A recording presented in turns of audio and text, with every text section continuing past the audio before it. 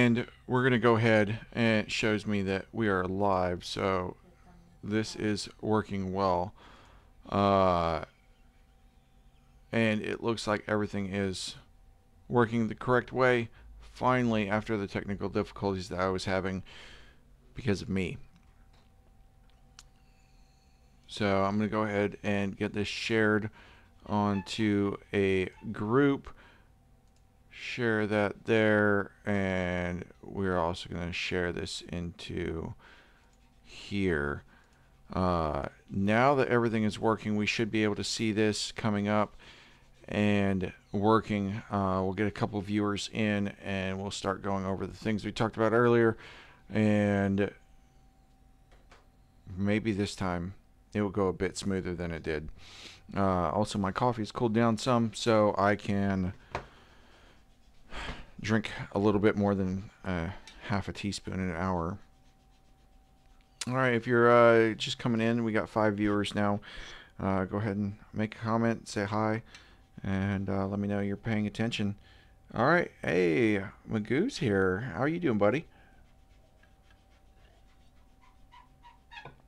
Uh, all right, Jamie's here, and uh, we're going to get started on this. So tonight we're going to be talking about uh, tool library setup and uh, not just tool library setup, but tool path selection uh, and the efficiency of getting your tool paths set up within the library and then selecting those tools for efficient machining processes.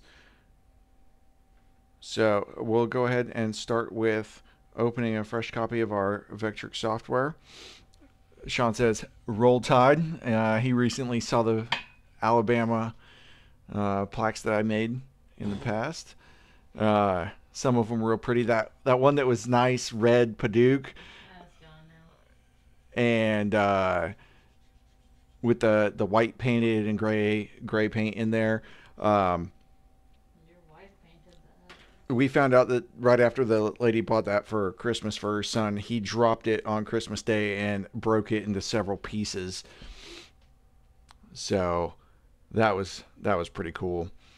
Uh, so within our Vectric software, we got we got wow already 11 people in here. That's pretty quick for us.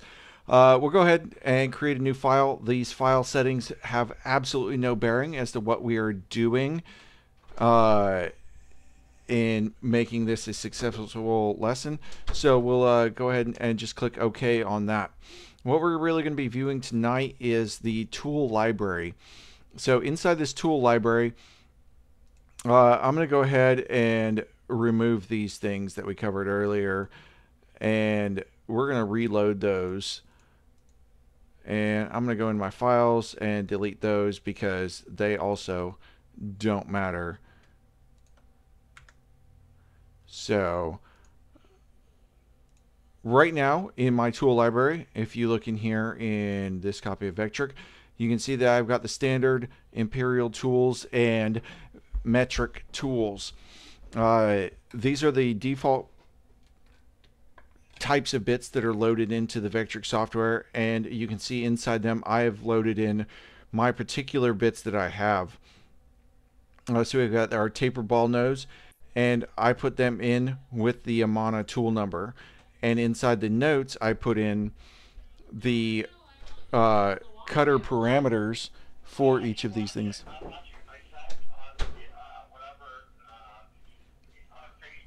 All right, I'm going to pause this for a second, mute my microphone. Uh, just give me one second. I'll be right back.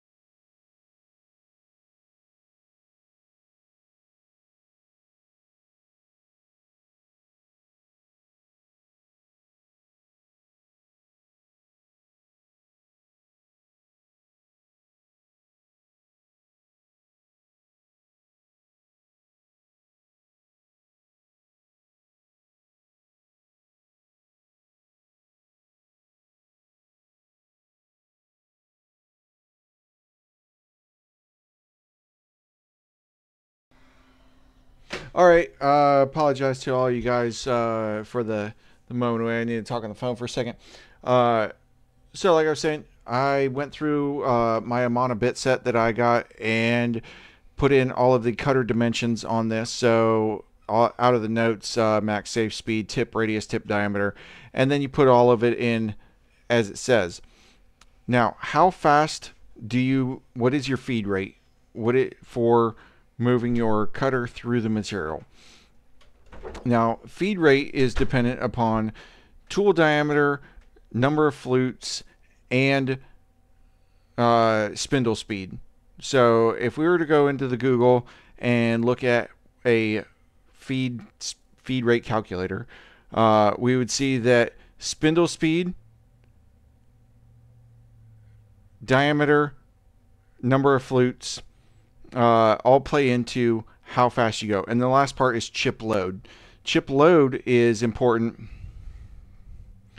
Uh, Paul says, I see you. Nice looking room for the both of you. Uh, Paul, this is actually her room, and I am stealing all of her equipment to make these videos. Uh, so her being patient with me right now is super important, and I thank her for letting me cannibalize all of her equipment or commandeer it. Uh, so as I was saying, making sure that you have your chip load correct. Chip load on this, right, is you look at this is three thousandths or 31 ten thousandths of an inch. So that's saying that's how much material pull, you're pulling off of each tooth or uh, flute of your cutter as it's coming around for most of our what we're dealing with, and I'm gonna just say right now, what we deal with in especially in this group, CNC for beginners and most hobbyist level machines, whether it's uh, most of your next wave automation machines, anything that uses a commercial DeWalt, Bosch, Porter cable router, or anything that uses your uh, anywhere between your 800 and 2500 kilowatt uh, liquid cooled spindles, the hobbyist grade machines, those are all in the same range of machine. Uh, with the DeWalt router, I'm most familiar with, but you're going to be looking at a when it's set on uh, speed of one, spindle speed of 16,000 RPM, and we want a chip load of three thousandths to five thousandths of an inch.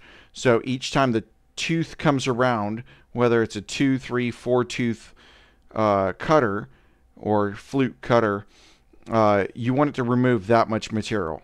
So if you wanted to remove three thousandths of an inch every time that bit comes around at 16,000 RPM, you need to scoot the bit through the material at a fairly quick rate. Now, a lot of these beginner level machines are limited on how fast they can move, and that will really be the the limiting factor on this. We can only slow the spindle down as slow as it will go, and we can only make the machine move either as fast as it will go or as fast as it can go based on ma- material constraints of the machine, whether that is uh, due to the spindle knot or the, the structural rigidity of the machine uh, and and flex, whether it's in the gantry or you know a lot of machines have that flex within the the uh, spindle mount on, on the gantry, or it's based on belt slip on the machine.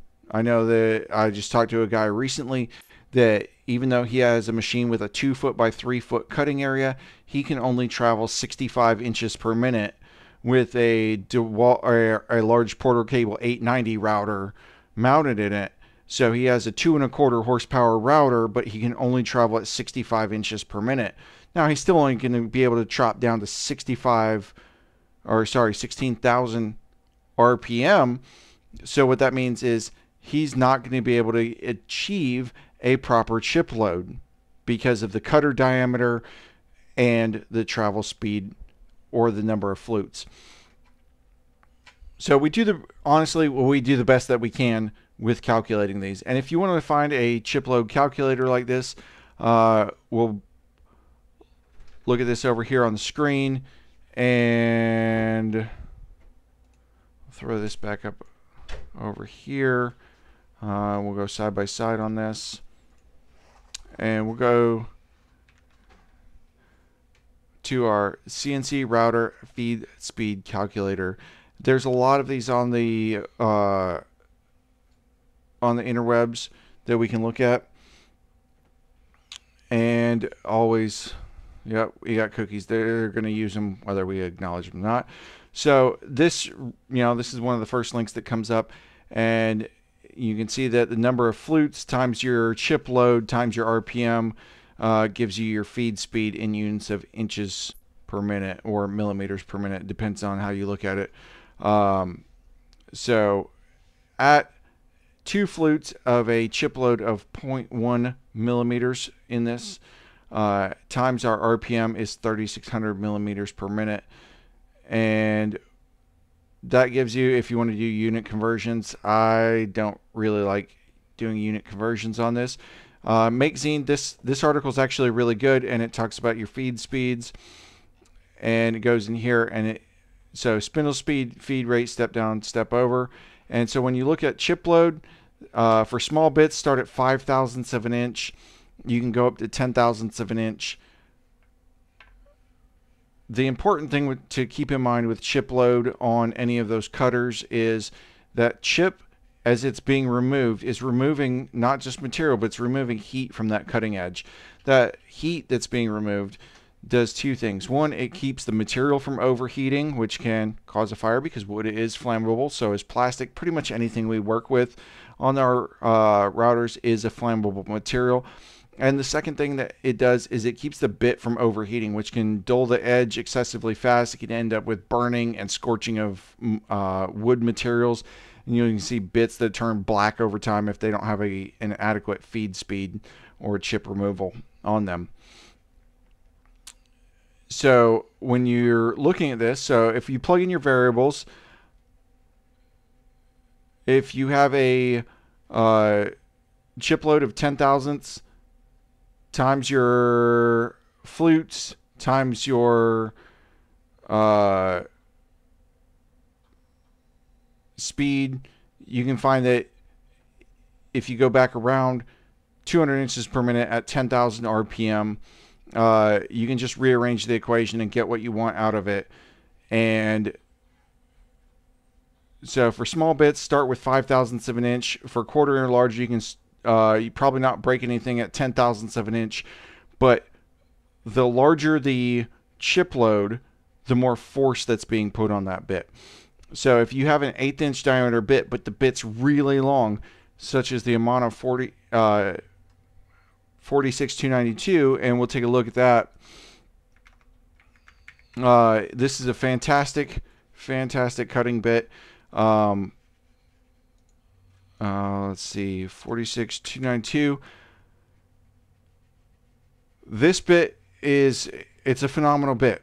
Uh, now it's eighth inch diameter, but it's got a one and three thirty seconds cutting length on it, so you can do deep cutouts, deep profiles, uh, and you don't waste a whole lot of material on there uh, getting cut out, and you can get into those smaller uh, radius places and get a real detailed cutout on that.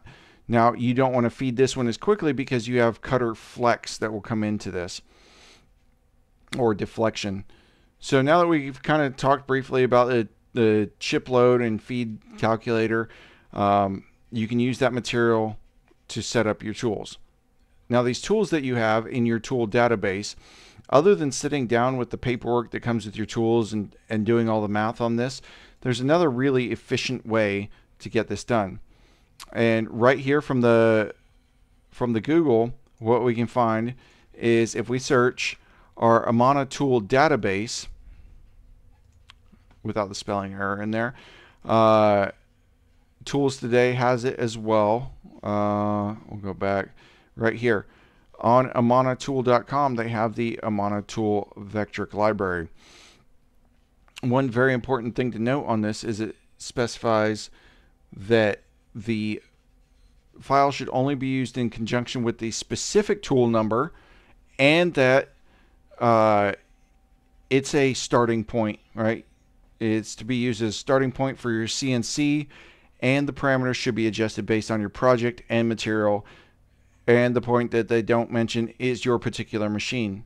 As I mentioned, if your machine can't move at 100 inches per minute or it can't move uh, in a particular fashion that it makes it a safe cutting or efficient cutting parameter, adjust it. So on the website, you just click the vectric.tool file database.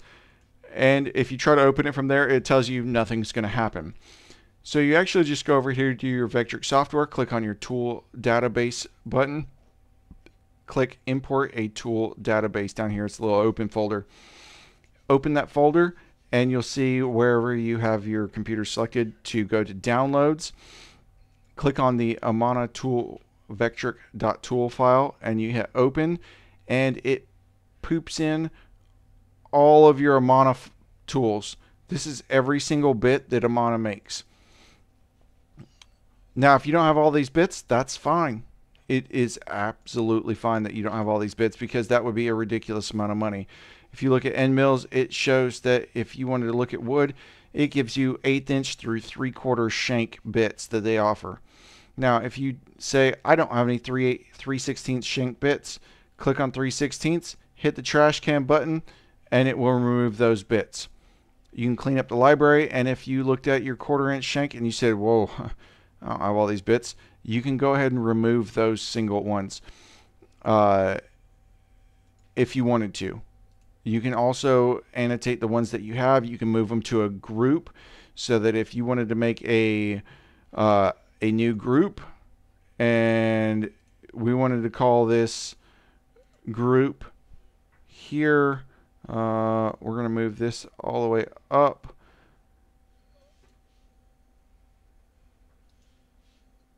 And I clicked the, the wrong thing. Right. and we'll call this here. Oh, do, do, do. We're going to add a group and we're going to call this, oh, we're going to rename that here. We're going to call this tools I have.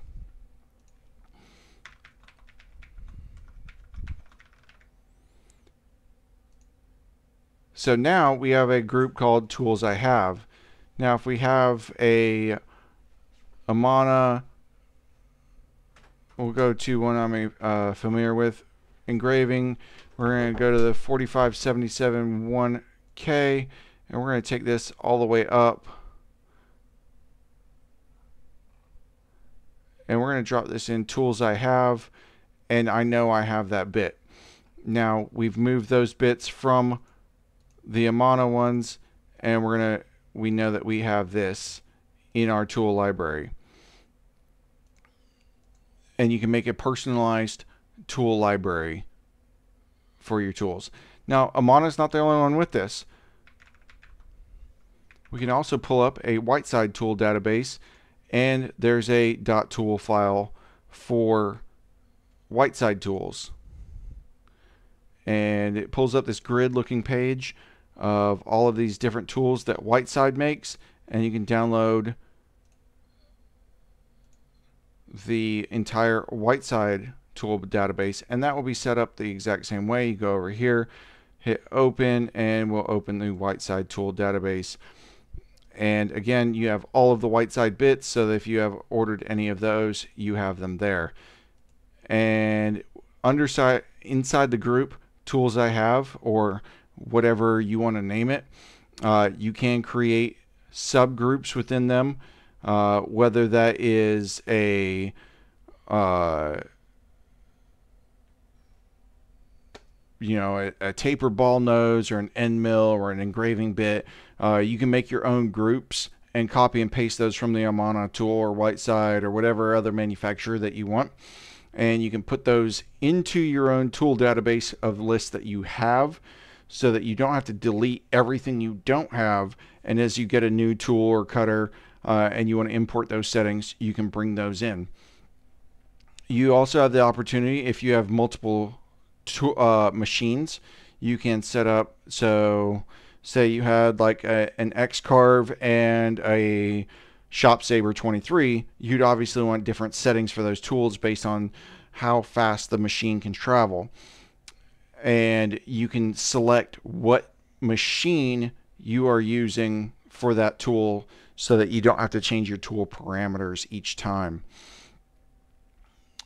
You can, uh, this is a new feature for version 10, select your material and you can select a new material. So if you had, uh, you wanted to put in for plastics or composites or wood or metal, uh, you can have several different material profiles that will adjust based on how you've programmed your bits uh, that you you say, all right, my tool, I'm using uh, plastic this time, and it will adjust those cutter settings or even your tool library for you, uh, particular to what you're trying to do. And that really helps with uh, helping sort things out when you have a lot of tools, you use different materials frequently, or uh, you just don't want to get confused. Up here at the top, what you're going to see is you have it tells you if you're online and here you can upload your current tool database to the portal.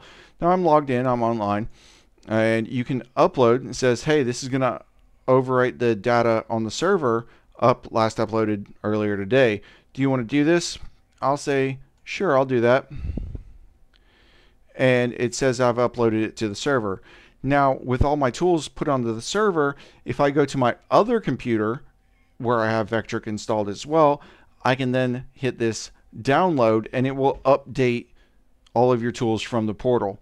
One of the great things about this is should you know you drop your laptop in a puddle of water outside or your house gets struck by lightning, you know, whatever might happen. Uh, not that it's happened to me ever. You can always download your tool files again so you don't have to sit there and figure out how to do it. Uh, so that that fixes those things. Uh, so we see our cutter diameter, side angle, flat diameter. That's great. Now, if we were to go in here, and I'm just going to throw something together real quick um, as, a, as a demonstration for this. Uh, so we'll draw a circle, we'll draw another circle, and we're going to talk about overall uh, toolpath optimization on this because what can be a real pain with some of these is figuring out what the best way to figure out your tool pathing strategy. Uh, so we'll go ahead, shrink this so that it fits in the bottom of here.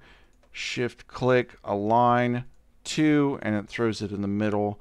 This one is going to be here. And so what we're going to do is we're going to set up some tool pathing real quick. Jamie says he loves his X-Carve now. It's not really an X-Carve. It's really uh, a CNC machine that uses the X controller, which is a fancy GRBL controller with the power supply. With an inventable spoil board. That's about all that is.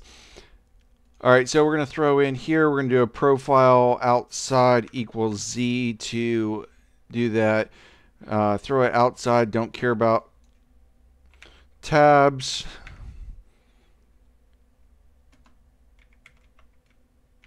And we're going to use our standard naming convention. We're going to do outside cutout quarter inch end mill. And if we preview this this toolpath, you can see the reason we didn't add tabs is so we can get rid of it go ahead and click this button up here to arrange vertical and we'll hit our Z preview or we'll do our view here. So let's say we're going to cut this out and we want to hog this out and we're going to go down 0.25 deep. We're going to keep our numbers really simple on this. And we want to use a larger area clearance tool. We're going to use a three quarter inch end mill on this one. And a quarter inch down cut. Uh, we're going to raster this. I choose to raster on this one because my machine is much more steady on the X axis than it is along the Y. And we're going to call this clear pocket because we're going to hog some stuff out. Uh, and what we can see is when we preview our visible toolpath, our three quarter inch end mill cuts all this. Then our quarter inch end mill We're going to clean clean up the inside edge. This pocket and this pocket, we're going to go ahead and we're going to cut those down to 0.45. We're going to use a larger area clearance tool on these and the same. And we're just going to call these first pockets. And it's important here that we have the ramp plunge moves selected for this so that uh, when we're using a, a two flute end mill, it's just a regular router bit that it doesn't plunge into the wood and burn it, uh, burn up the bit, stall the motor, the stepper motors, what have you. Uh, and we'll preview those visible tool paths. So what we see is we actually did this in a very inefficient manner. What we said is we want these to cut down 0.45 inches from the top surface of the material. That's not a smart way to do it because your first out of four passes, if we hit edit passes, they're going to go 0.1125, 0.225.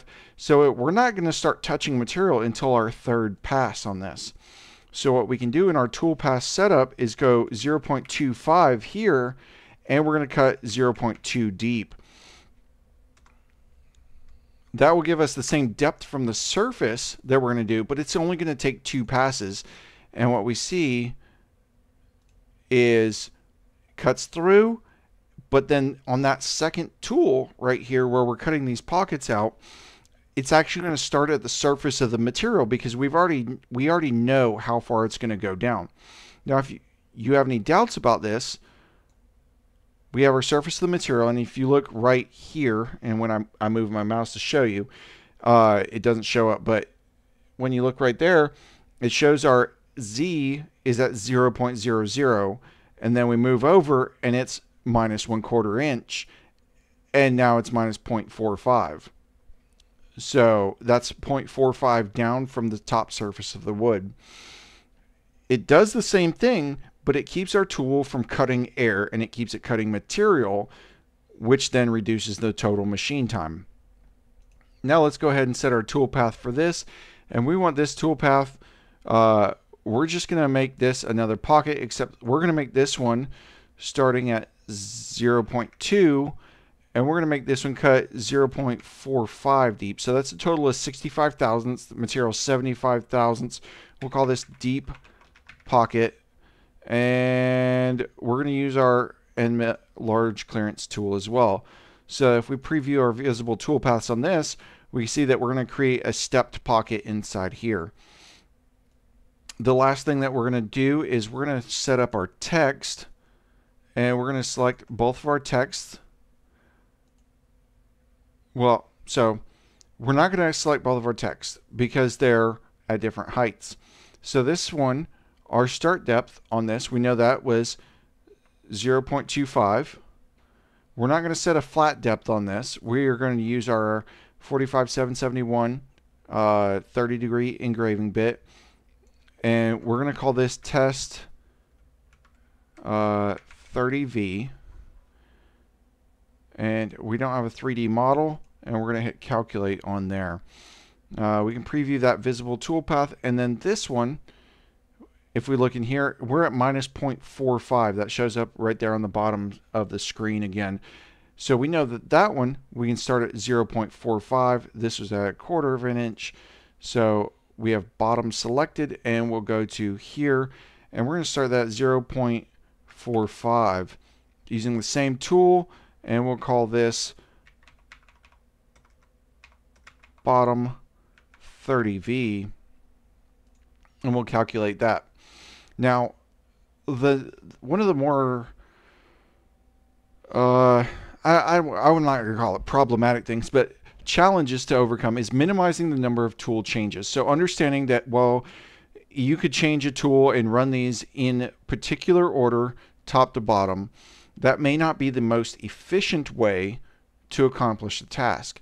So let's look at our toolpath uh, generation, right? So we have all these individual toolpaths. Let's look at actual saving these toolpaths and putting them in a proper order. So let's group, I'm, I'm going to start by grouping them together. We know that all of these clearance right, that have clear in their name use the three quarter inch end mill. Um, we know that we have first uh, clear pocket, the first pocket, the deep pocket, and here a outside profile cutout. Now the order in which they are here top to bottom is going to be the order that they run when you go to the save toolpaths. So we can see that if we select the three that are in the uh, uh, why are we saving to axes? All right, it's because uh, we're going to go just generic machine. Uh, we're going to say we're going to output to the Xcarve post processor. And we're going to select this up here at the top. This is output all visible toolpaths to one file. So we're going to output them to one file. And this is the order in which they will run. So we're going to run clear pocket, first pockets, deep pocket with the three quarter. And we're going to save this and I'm going to throw this in my CNC things folder.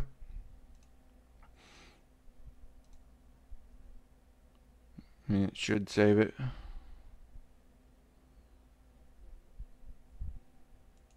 Uh, maybe not. Hmm. All right.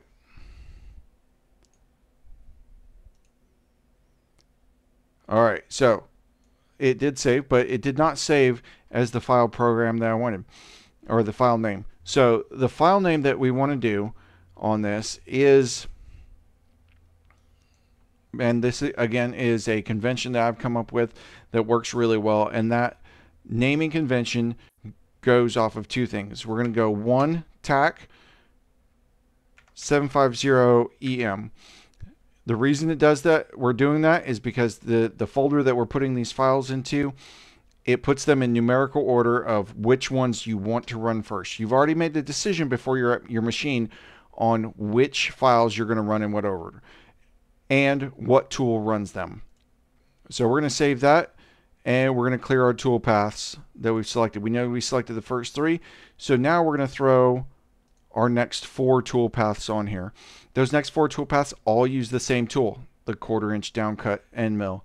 And we're going to save those paths to one file. So we're going to name that one 2-250EM.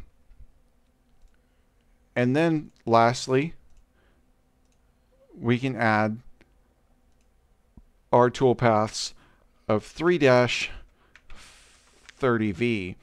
And that tells us that that's a third toolpath we're going to run, and it runs the 30 degree V-bit. Now, when we run these in order using our toolpath simulator, we're going to be able to see that if we reset preview and run our first three, and we preview those three toolpaths, it shows that we cleared out our large portion and then the majority of those. Now if we clear, it's going to show the cleanup of those two pockets and we'll preview those toolpaths. So now we've completed six different tool paths. Here comes number seven. That's seven toolpaths that we've created with only one tool change. Then lastly, we come in with our V-bit and while they are different toolpaths because they're at different levels within the model, they're saved as one file, and that one file outputs and it machines both of those. So then when we hit preview visible toolpath, it throws the letters exactly where they're supposed to be. Now let's say you that this is a great model, but you want to see what tools did what jobs. Let's say on the end of it, that you are going to paint these letters black. You can go up here, click toolpath color, and select black. Now, you notice right here, because this one was highlighted blue, that's the one it selected. So we'll go back up here and we'll just hit material color on those. And then we want to make sure that these, it's not check marks, it's highlighted blue. We'll go toolpath color and we'll select those. And so when we deselect these, you can see that those are now black inside. Now, if you wanted to see what is getting cut out of your individual toolpaths, say like you wanted to make all your uh, three quarter inch end mills orange here, you could see what your three quarter inch end mill is cutting. And then if you wanted to see what your quarter inch end mill was cutting, it's actually just going to cut that corner of the material. And that gives you an idea of what tool is doing what area. You can also use that to your advantage to simulate colors of a finished product if you wanted to. Well, I think that's about all I've got uh, for tonight. So we've been uh, been at this for almost two hours and managed to get almost 40 minutes content out of it. Does anybody, the you know, few viewers that we've got, do you, any of you guys have any questions about uh, what we covered, what we what we looked at, tool paths, how to get your tool library set up, organized, um, and efficient machining outputs, optimizing your tool paths? I'll give you a couple minutes while I uh, look at this and. Um, Anything else?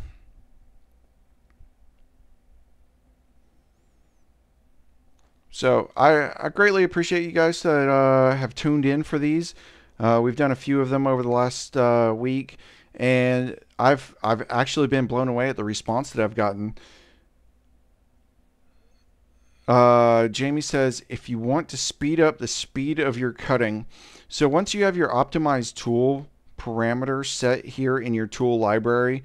Um, we'll say like here we're using a 30 degree V angle.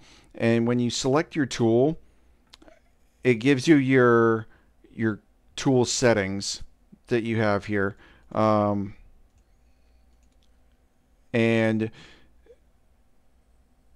this is this is great, right? Um, but you don't want to modify things in here. So if you go to your edit tab, this is where you can change things. If you want to go faster, just hit like 100 and put that in there. Now, your machine is only going to go as fast as the machine sets itself, and that's inside the controller. Um, and those are based on your stepper motors or servos, how fast the machine limitations are set. You can go up to those speeds, but it's not going to go faster than those. Um, and and that's a, a hardware based limit. So if you even put in, say, you have an X carve and you want to run that at 500 inches per minute, it will it will uh, limit that number to the fastest that you can go. Now, how fast you can go and upping this the speed of your machine again, it goes into structural rigidity of the machine and then back into spindle speed, chip loading. Um, so if you are using a tool and you're just hogging things out, doing a, a roughing pass on a 3D model, you can do a 50% step over with a quarter inch end mill and get rid of a lot of material really quickly because it's a roughing pass. And the other thing that that ends up being into it is the acceleration and deceleration of the machine. Because if you've got this 12 pound carriage that has to accelerate up to speed and then it has to slow down the machine takes into account the acceleration deceleration rates. Uh, and that's not something that a lot of us see through our standard software. Uh, if you get into like using Mach 4 or some of the other uh, cnc control software, you can see your acceleration, deceleration rates and how those play into your machine. And that is why the higher end, more structurally rigid machines, your commercial uh, level machines, are able to achieve the cutting speeds they are is because they are so much more structurally rigid that they don't have the flex. They can accelerate more quickly, decelerate more quickly, change direction, and they don't flex at all.